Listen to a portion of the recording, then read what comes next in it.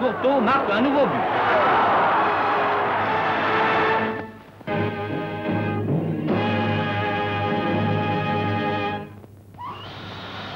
La radio-télévision vous présente un grand reportage sur la fabrication d'une locomotive moderne.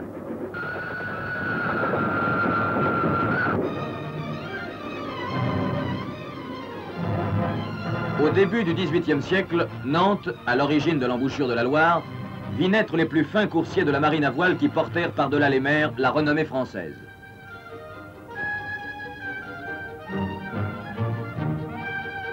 Aujourd'hui encore, sur les mêmes lieux, sont construits les fins contre-torpilleurs de la marine nationale, les plus rapides du monde.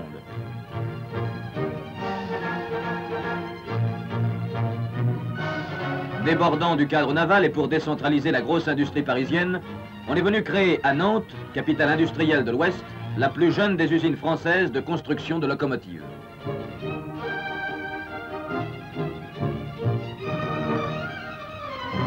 Sur 17 hectares aménagés, 7 sont couverts par 13 vastes ateliers dont les lignes modernes et harmonieuses convergent vers l'immense hall central de montage de 150 mètres de long.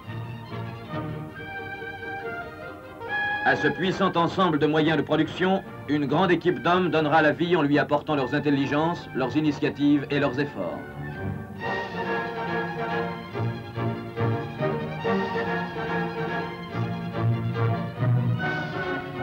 Leur tâche sera rude et noble. Par eux, 160 tonnes de métaux bruts vont s'affiner, prendre forme et devenir l'une des puissantes locomotives modernes du réseau ferré de France.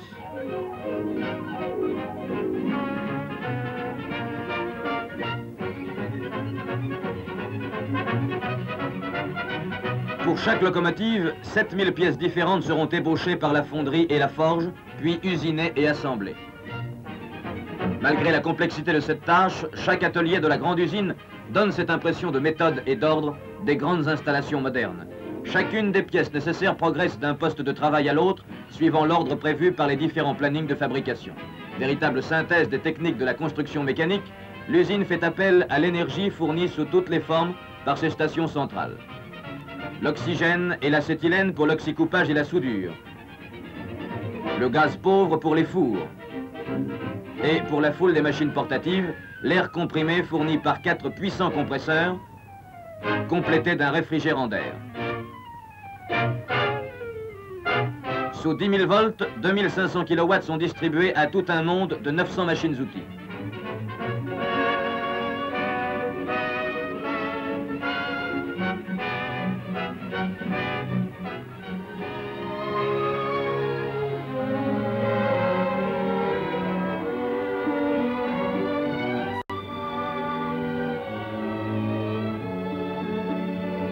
Dans ce royaume du métal, mille curiosités nous attirent. Grâce à l'air comprimé, les ingénieux dispositifs de cette machine à mouler construite par l'usine exécutent sans fatigue, avec force et précision, les gestes souvent délicats du mouleur.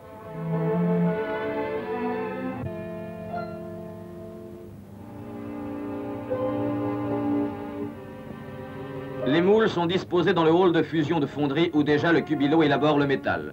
Sur la plateforme, près du gueulard de chargement, la benne vient de déverser les éléments constitutifs d'une charge. De leur dosage dépend la composition de la fonte, tandis que l'allure de marche du cubilo et la température du métal dépendront du poids d'oxygène soufflé par quatre tuyères sous forme d'un débit d'air réglé automatiquement.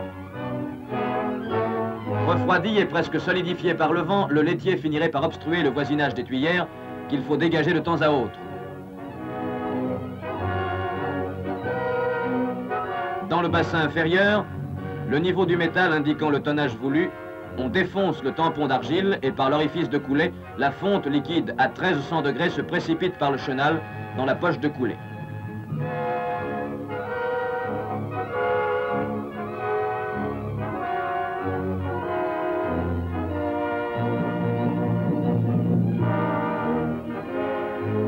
Les crasse et du laitier qui surnage sont enlevés. Par le conduit évasé ménagé dans le sable, le métal va emplir toutes les cavités laissées par le modèle. Quelques coups de ringard aident la sortie des derniers gaz. La fonte emplit parfaitement tous les détails des formes de la cavité. Pendant ce temps, dans l'atelier des châssis, des tôles d'acier de 35 mm d'épaisseur et de 14 mètres de long ont été découpées, puis usinées. Au cours d'une opération dite d'habillage à plat, les renforts et les premiers supports ont été fixés.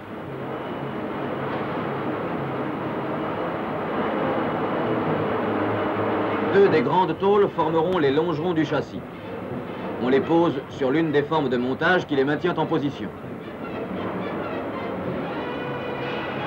Ainsi s'ajoute une nouvelle unité à la série des châssis déjà en cours.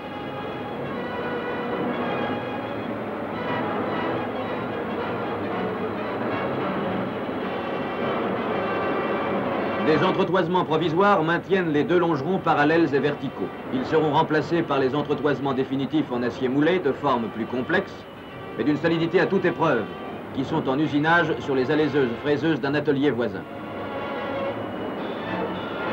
Cette pièce de plus d'une tonne formera le caisson d'attelage arrière de la locomotive. Plus importante, les entretoises intermédiaires sont descendues entre les portées préparées des faces intérieures des longerons. Les codes d'usinage permettent de les monter sans retouche. Tous les modes d'assemblage sont mis à contribution pour réunir en une poutre caissonnée rigide les éléments du châssis.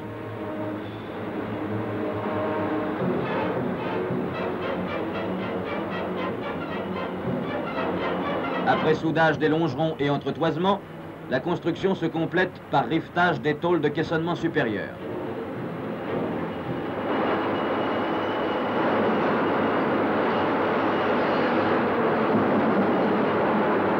L'usinage à plat du longeron a été exécuté au moyen d'un calibre d'ensemble qui a permis d'obtenir à leur position relative exacte les butées de cylindre, les logements des cieux et les pièces portant les supports des leviers de freinage et des balanciers de suspension. Des boulons provisoires maintiennent les supports à la position que leur impose leur centrage, pendant que deux perceuses mobiles amènent à leur code de finition les alaisages où les boulons définitifs seront posés à la presse ou au marteau pneumatique. Parfaitement rigides, les assemblages obtenus résisteront sans ébranlement aux chocs répétés de la marche sur rail.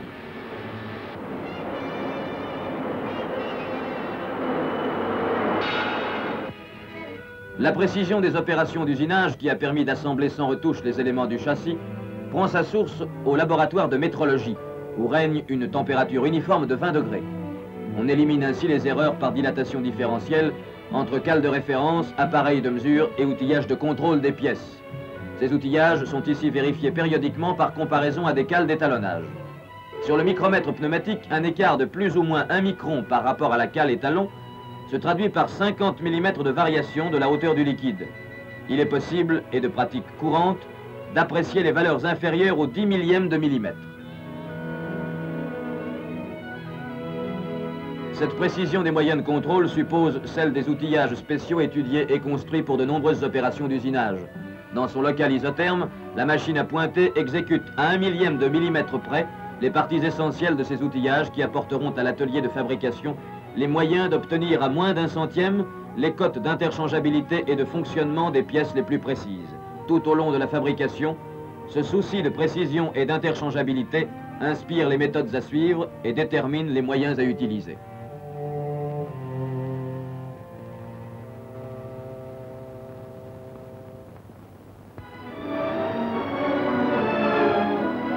Conception de cette alaiseuse spéciale et le dimensionnement de sa broche lui permettent d'exécuter, dans l'acier moulé du cylindre à haute pression, l'alaisage précis où, avec deux dixièmes de serrage, sera montée à la presse la chemise recevant le frottement du piston moteur.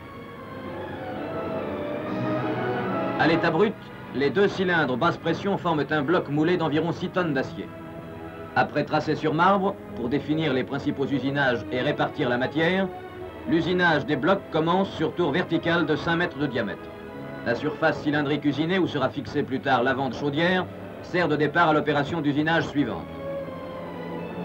La pièce retournée est posée sur forme cylindrique inclinée. Butée et génératrice en contact, imposent à la pièce l'unique position correcte qui permet aux deux broches d'alléger simultanément l'emplacement des chemises des deux obturateurs. Au moins égal à 25 kg par millimètre carré, la résistance de la fonte des chemises permet de pratiquer sans rupture ou déformation les lumières de large section les plus favorables au passage de la vapeur. Malgré l'importance des ouvertures à fraiser sur cette pièce longue et délicate, la méthode adoptée sur machine de mécanique générale permet d'éviter les déformations de la pièce.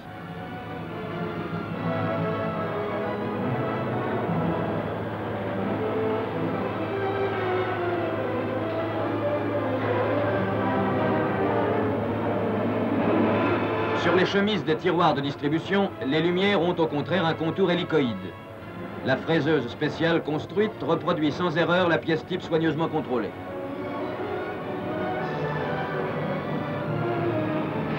Posées à la presse hydraulique, les chemises se sont contractées et déformées. Or, l'étanchéité des tiroirs de distribution exige que leur alésage soit parfaitement cylindrique. Après mise en place, les chemises sont donc reprises en finition sur machine précise, au moyen d'un outil capable de terminer l'opération sans présenter d'usure appréciable.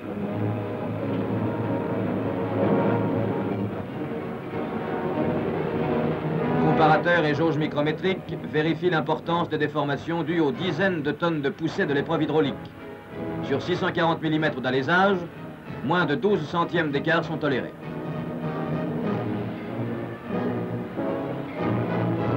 Pièce maîtresse de l'avant du châssis, le bloc cylindre fournit aussi le berceau cylindrique fixant la chaudière. Parfaitement rigide, l'assemblage des cylindres opposera inlassablement jusqu'à 800 fois par minute les réactions alternées de 26 tonnes réclamées par chaque piston.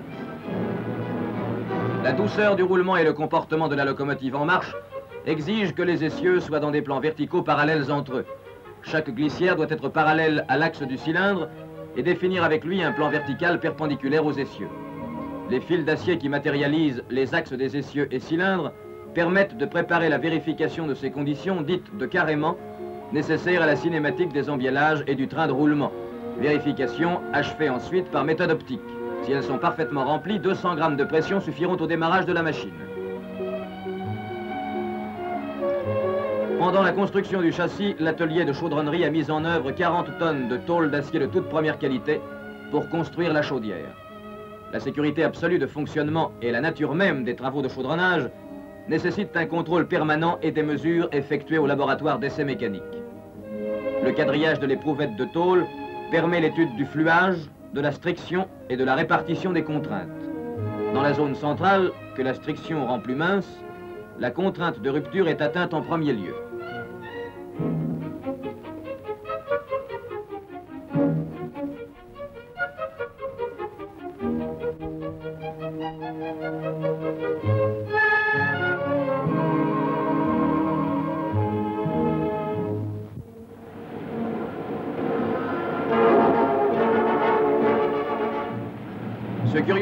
N'est autre que le développement d'une tôle que l'art du chaudronnier va transformer en un siphon Nicholson. Le premier pliage effectué sur presse justifie la sévérité des essais et mesures pratiqués sur les éprouvettes de la même tôle.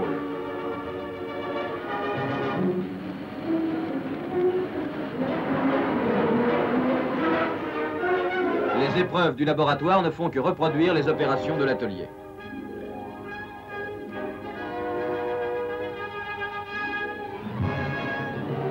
Les trois viroles du corps de chaudière sont en tôle d'acier à haute résistance à 2,5% de nickel, ce qui a permis d'en réduire l'épaisseur à 19 mm.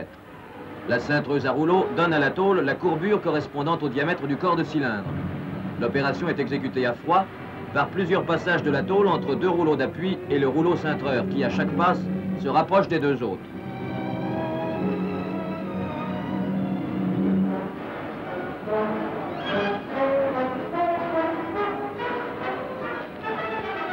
Pour mieux transmettre à l'eau les calories qu'il reçoit, le foyer est constitué d'emboutis et de tôles minces de 10 et 13 mm d'épaisseur, assemblées par soudage à l'arc.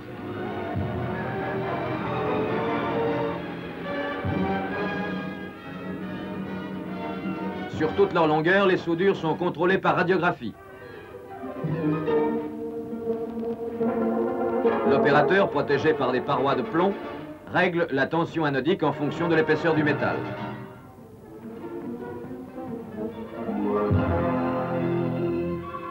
L'image de la pénétration des rayons permet l'examen interne de la soudure. Les rares défauts, tels que cette inclusion de laitier par exemple, sont décelés puis dégagés et repris. La boîte à feu qui forme l'extérieur de la partie arrière de chaudière et son foyer sont mis au portique d'entretoisement où des machines légères à haute fréquence sont utilisées au taraudage des trous qui recevront les tirants verticaux du ciel de foyer.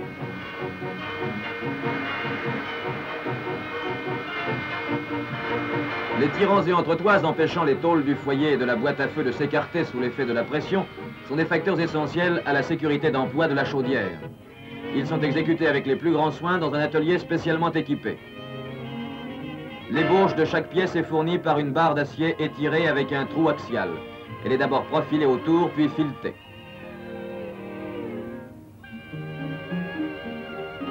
La contrepointe du tour pousse l'ébauche contre une pointe angulaire qui entraîne la pièce à 3300 tours minute.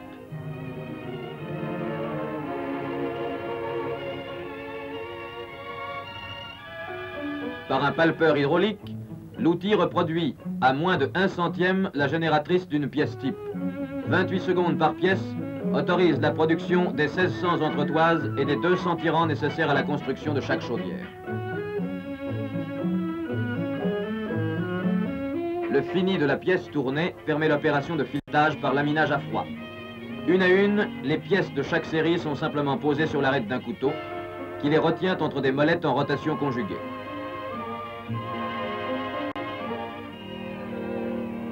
Par une force de 8 tonnes, l'angle du filet de molette appuie sur le métal, le fait fluer et remonter dans le creux. Sans un seul copeau, un filetage impeccable a été modelé sans rompre aucune des fibres de l'acier. À l'économie de matière que procure la méthode, s'ajoute la facilité de montage due à l'écrouissage. La haute qualité régulièrement obtenue se complète d'un contrôle géométrique des cotes qui doivent satisfaire aux conditions d'interchangeabilité. Le profil et le pas des filetages sont vérifiés par coïncidence avec le profil de référence d'un micromètre tournant de haute précision.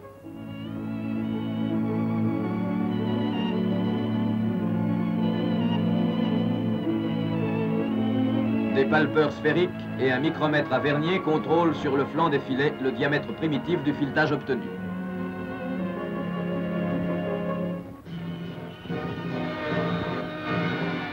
L'excédent de longueur prévu sur l'entretoise est rabattu au marteau rotatif.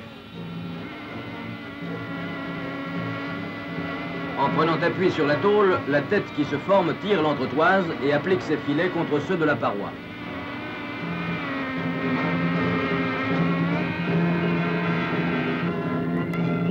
La dilatation du collet de boîte à feu facilite l'engagement du corps cylindrique.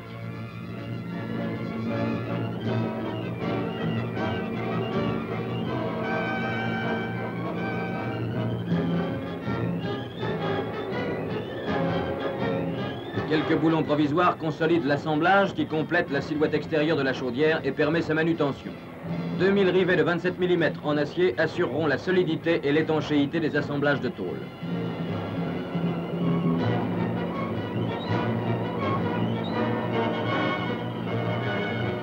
À ce stade de fabrication, l'ensemble de la chaudière pèse près de 26 tonnes et mesure plus de 12 mètres de longueur. Telle une acrobate de haute voltige accrochée par les dents au trapèze volant, l'énorme masse suspendue par le gueulard, porte du foyer, est redressée jusqu'à la verticale par un pont roulant transversal.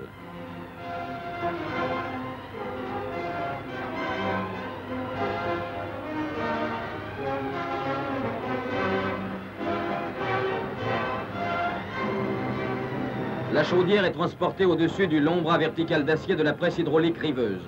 Malgré ses 7 mètres de long, nécessaires pour atteindre les rivets les plus éloignés, le bras doit résister sans fléchir aux 90 tonnes d'effort de la presse.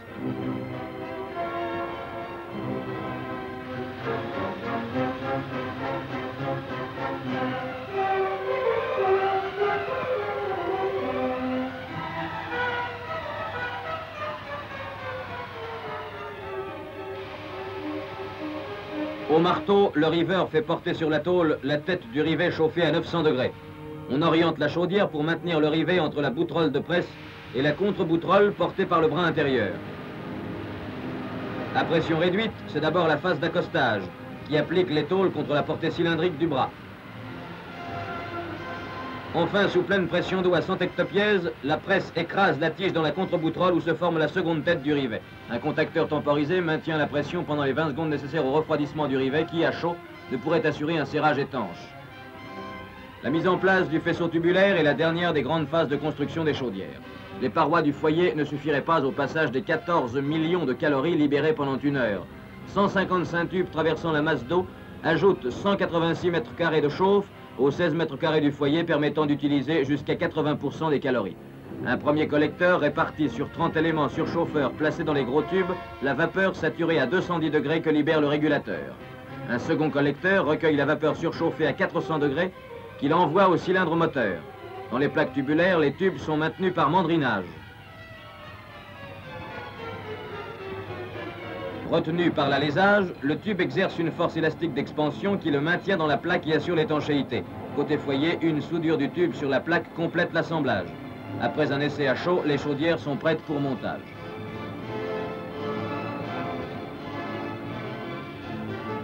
Dans l'atelier des châssis, les dernières opérations de montage ont été terminées en temps voulu. Tôle de tablier, réservoir de frein, pièces d'attelage et tampons ont complété le châssis. Par manœuvre simultanée, deux ponts roulants dirigent le châssis vers la porte de l'atelier.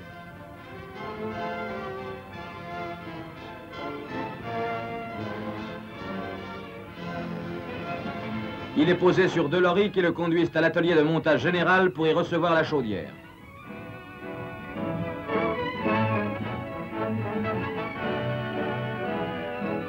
Presque simultanément, la chaudière, elle aussi sur deux lorries, fait son entrée dans le hall.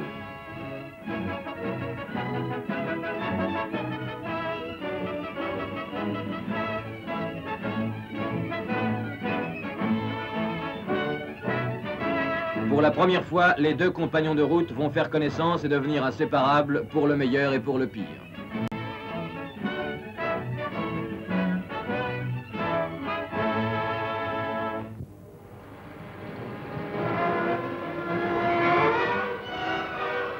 De cette union des deux plus importants ensembles, une nouvelle locomotive de la série est née. Les matelas d'amiante calorifuge déjà posés sont recouverts par les tôles d'enveloppage fixées aux armatures de la chaudière.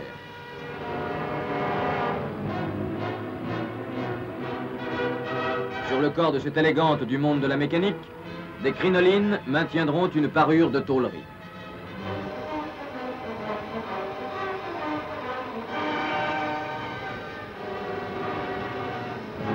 Mais cette élégante appartient à un monde moderne et pratique, où a disparu la classique pelle du chauffeur que remplace le chargeur automatique en cours d'installation.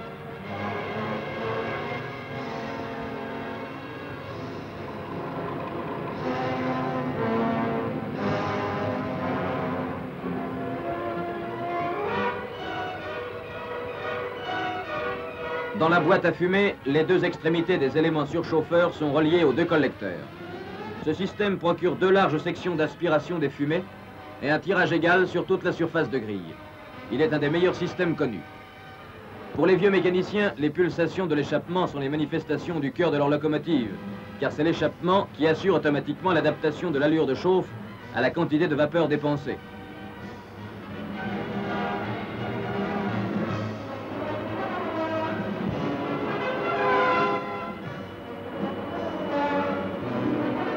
À l'autre extrémité de la locomotive, une équipe d'ouvriers procède au montage des appareils de conduite et de contrôle disposés sur la plaque arrière de chaudière. L'abri destiné à la protection de l'équipage vient compléter une silhouette bien classique de locomotive.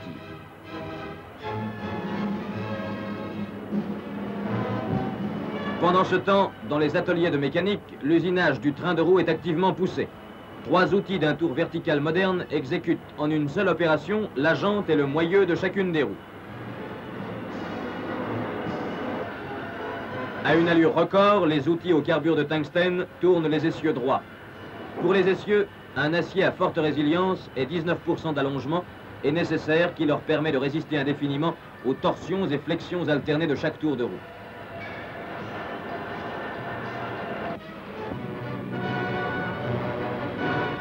L'essieu coudé, dont le tour usine les extrémités, est un ensemble polybloc de 2600 kg. Équipé de ces roues, son poids dépassera 5 tonnes.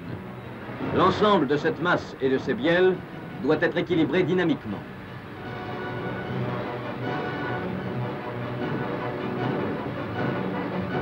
Les états de surface obtenus et la précision des cotes permettent de réaliser l'assemblage des essieux et des centres de roues par simple calage à la presse. La poussée de presse et l'enfoncement de l'essieu enregistrés sur diagramme doivent présenter entre eux la relation que le cahier des charges prescrit d'après les mesures expérimentales faites dans les conditions de marche les plus dures.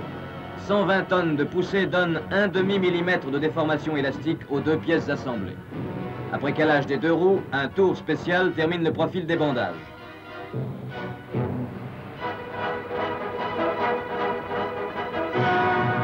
La toilette des roues parachève l'aspect des jantes et des rayons demeurés bruts. Après un contrôle de recette extrêmement sévère, les roues, une fois peintes, sont envoyées à l'atelier de montage. Elles y recevront les bielles qui vont naître sous nos yeux à l'atelier de forge.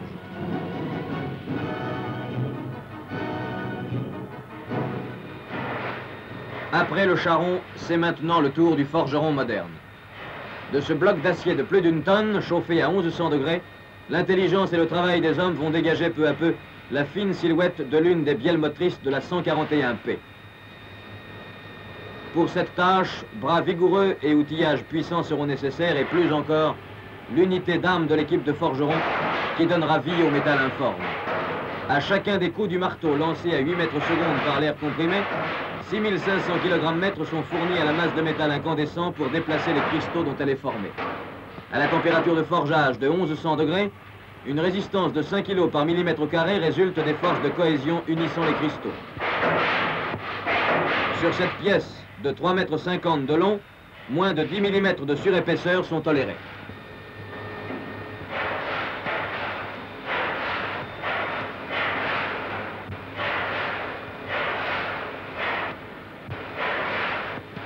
L'équipe d'hommes paraît ne faire qu'un. Sans une parole, sans un regard, chacun des gestes semble dicté par l'évolution des formes de la pièce, qui guide aussi la cadence de frappe et la vigueur des coups.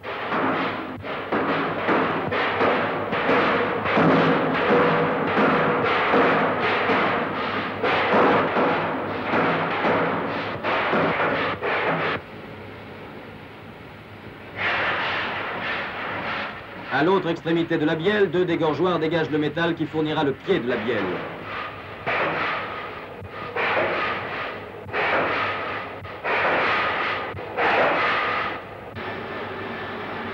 Le calibrage du corps termine l'opération. L'effort a été rude. Quelques coups rapides et légers achèvent le dressage.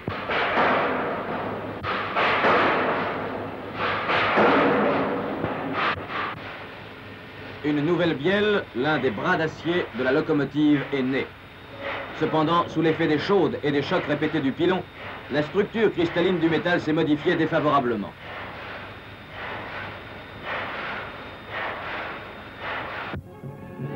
Les cristaux ont grossi, mais le forgeage les a orientés et disposés en fibres juxtaposées. Le traitement thermique de régénération, chauffant lentement la pièce à 400 degrés puis à 875, fait disparaître les tensions locales en réduisant les groupements de cristaux, donnant ainsi à l'acier sa nouvelle structure de cristaux de grande finesse. À distance, depuis le tableau central de contrôle, la température du four a été régularisée à plus ou moins 1 degré. L'évolution de cette température et celle des autres fours de l'usine a été enregistrée.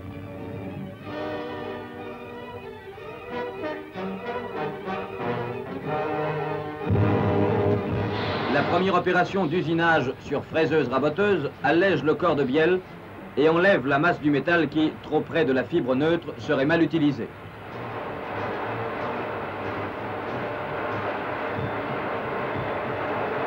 L'opération suivante donne à la pièce son profil extérieur qu'une autre machine copie électriquement sur gabarit.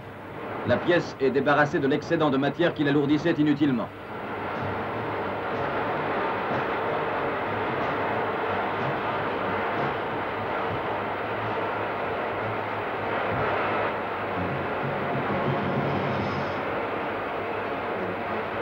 Une dernière opération pratiquée sur fraiseuse de mécanique générale enlève l'excédent de métal des contours de la tête et du pied de bielle.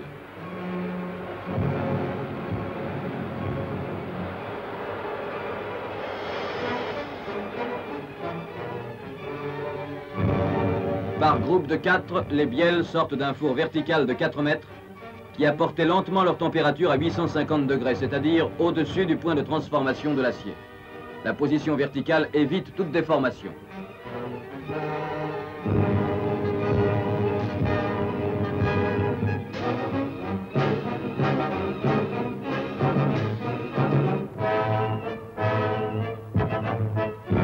La même position évite pendant la trempe les inconvénients qui résulteraient du refroidissement inégal de la section de métal. Les déformations sont encore réduites par la précision de la température de trempe.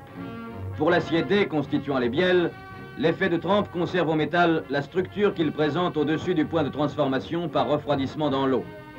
L'appendice laissé à l'extrémité de bielle fournit les éprouvettes pour mesure complète des caractéristiques obtenues.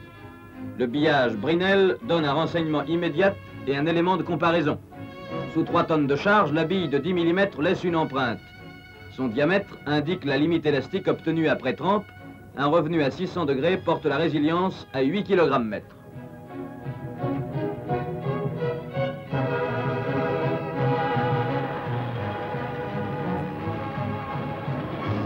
Pour l'usinage en finition, un plan de référence est tout d'abord réalisé par translation de la bielle sous les blocs abrasifs d'une surfaceuse de 4 mètres de course. Les surfaces latérales de la tête et du pied de bielle matérialisent ce plan. Les deux alaisages d'articulation de la bielle doivent être obtenus à une distance rigoureuse de 3 mètres 400.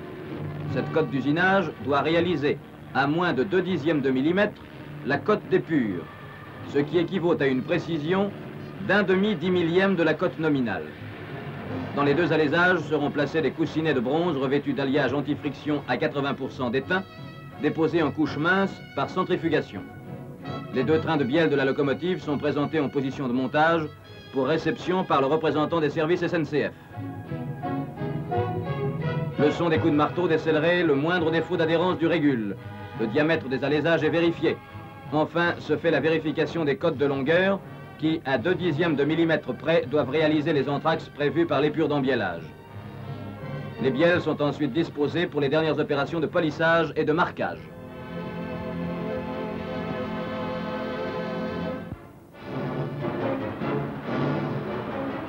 Organe essentiel du mécanisme de distribution qu'elle est chargée d'actionner, la coulisse est à la fois pièce de fatigue et de précision. Comme pour les bielles, on a eu recours au forgeage, puis au traitement de régénération. La précision de la distribution, et en particulier la courbure de la coulisse, conditionne le fonctionnement des cylindres moteurs. Une rectifieuse planétaire spéciale réalise cette courbure, en même temps que le guidage sans jeu du coulisseau. Pour la mise en place du train de roulement, il est plus avantageux de monter séparément le bicelle arrière et le bogie bicelle avant dont fait partie le premier essieu couplé.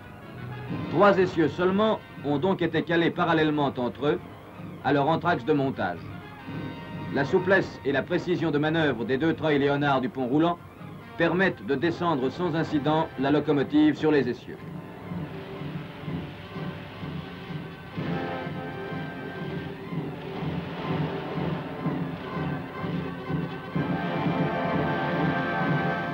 La vérification systématique des jauges à limite et la mesure des états de surface, effectuée au palpeur pneumatique, permettent de réaliser les meilleures conditions de montage et de fonctionnement.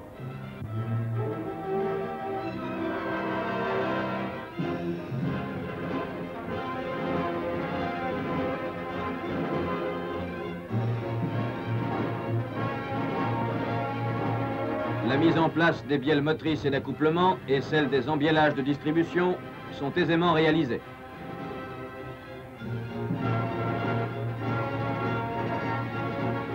Il ne manque plus à l'appareil moteur que ses pistons, car ce sont eux qui font marcher la machine. Leur tige, qui doit assurer l'étanchéité de la garniture fermant l'arrière du cylindre, doit être rectifiée. Aux grandes vitesses, le souffle brûlant de la vapeur surchauffée applique alternativement sur chaque face de piston haute pression 20 tonnes d'effort et 16 tonnes pour le piston basse pression, et cela 14 fois par seconde, ce qui exige une robuste constitution. Or, malgré ses 640 mm de diamètre, le piston basse pression et sa tige ne pèsent que 125 kg, c'est-à-dire 8 grammes environ par kilo d'effort transmis. L'automobile ne fait pas mieux. Un contrôle extrêmement sévère précède donc le montage.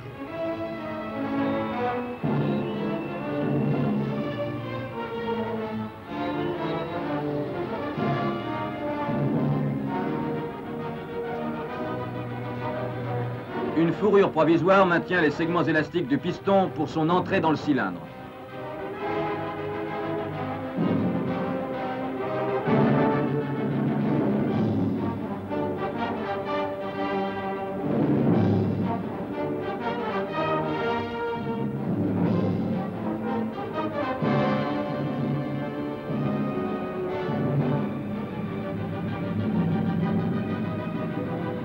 La 141P est équipée de tiroirs Vilotto, dont les bords d'attaque sont réglés en vissant plus ou moins la tige de tiroir dans le coulisseau. Une étude approfondie a permis d'obtenir les meilleurs diagrammes de puissance en reliant cinématiquement les tiroirs basse pression au mécanisme du cylindre voisin à haute pression. Une seule distribution Valchertz, installée à l'extérieur des embiallages moteurs, peut ainsi commander simultanément les tiroirs des deux étapes de pression.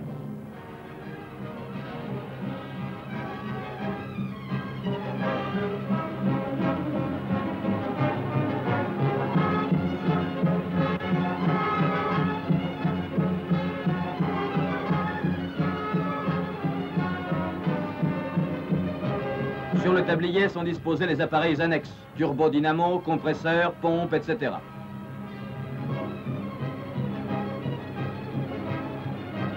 Le châssis du bogie Bissell avant, en cours de traçage, va venir compléter le train de roulement. Cette curieuse pièce d'acier moulé aux formes spéciales a pour fonction de relier l'essieu directeur de la locomotive au premier des essieux couplets.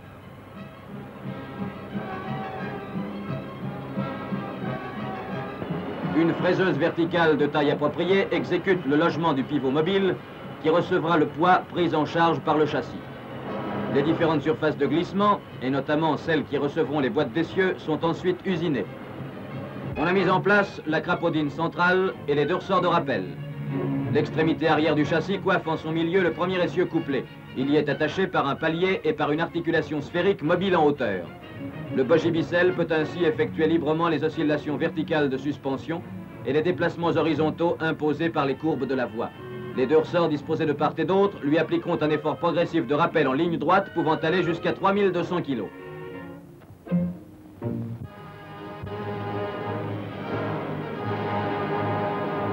Le bogie Bissell est prêt pour le montage. Suspendu à chaque extrémité au crochet d'un pont roulant, notre locomotive, qui déjà approche des 100 tonnes, va docilement se poser sur la crapaudine centrale du bogie.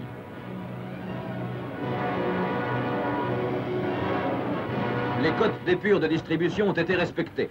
Il faut néanmoins procéder au réglage de la distribution, actionnée tout entière par la bielle de commande de coulisses, qui, pendant la marche, lui donnera son mouvement pendulaire.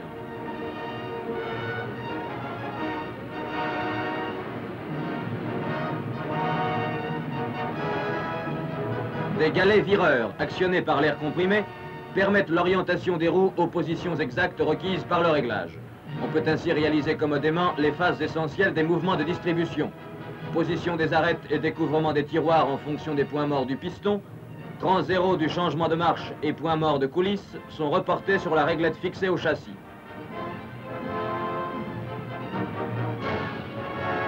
Ces différents points sont ceux qu'a déterminé l'épure de distribution.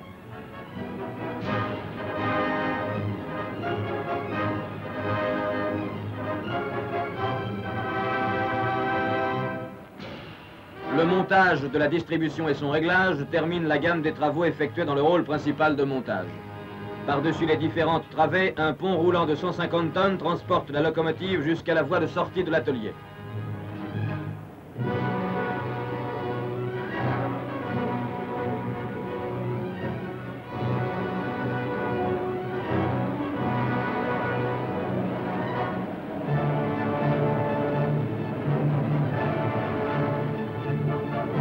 Notre 141P est alors remorqué jusqu'à l'atelier de finition, où les peintres préparent d'abord les surfaces par un enduit égalisé au couteau.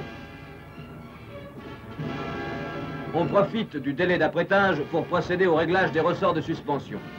Chacune des roues appuie sur le plateau d'une bascule spéciale dont le levier récepteur mesure la charge que le filetage et les écrous des tiges de suspension permet de régler en agissant sur la tension des ressorts pour obtenir le meilleur équilibre.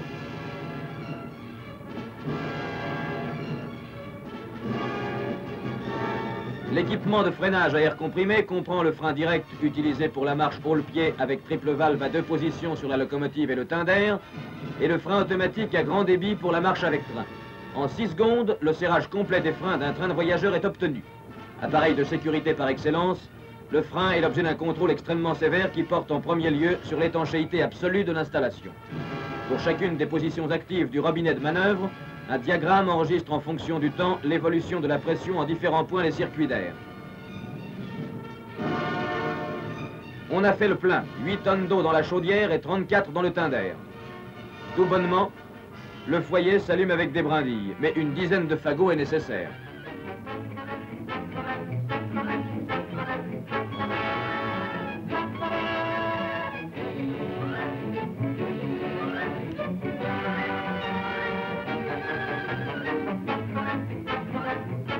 Lorsque la pression est suffisante, le moteur à vapeur placé dans le teint d'air actionne le chargeur mécanique.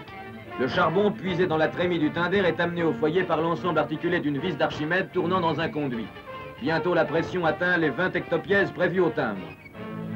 Pour la première fois sur cette locomotive, le mécanicien ouvre le régulateur et encore un peu timide, la 141P fait ses premiers tours de roue. Au-dessus de nous, c'est un défilé de tous les mécanismes que nous avons vus naître. Cylindres, essieux coudés, essieux droits, cendriers.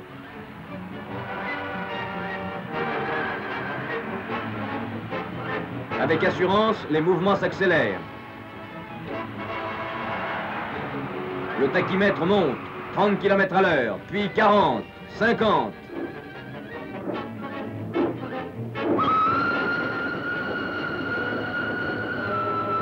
Les arbres, les maisons, les ponts défilent. Crachant avec joie ses premiers panaches, la 141P goûte le grand air des espaces champêtres. Ce parcours d'essai est une fête.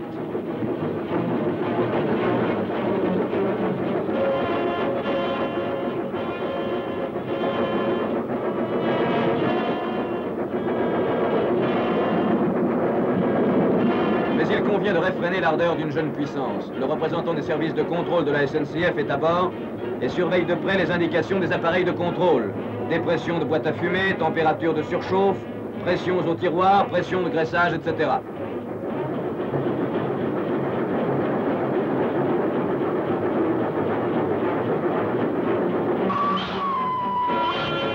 Bientôt paraît la première gare. La première de toutes celles que notre jeune locomotive traversera au cours de sa carrière. Petite gare coquette, elle a su prendre un air de fête pour ce premier accueil. Le printemps, le soleil sont de la partie. Docile, la machine a ralenti et stoppé. Minutieusement, chacun des mécaniciens procède aux vérifications prescrites pour le premier arrêt. Après cette course, tout défaut des anthrax, des ajustements ou des parties frottantes se traduirait par une élévation de température anormale des boîtes d'essieux, des coussinets de bielle ou des articulations de la distribution. La lubrification des points d'articulation est correcte.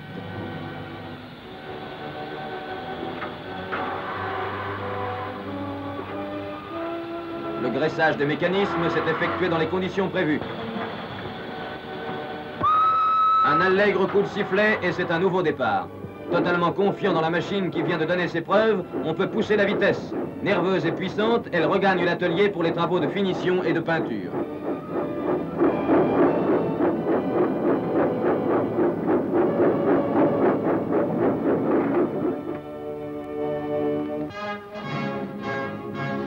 Et racée dans sa tenue officielle vert olive à parement rouge, la 141P, désormais prête à faire honneur au chemin de fer français, avance lentement vers son destin.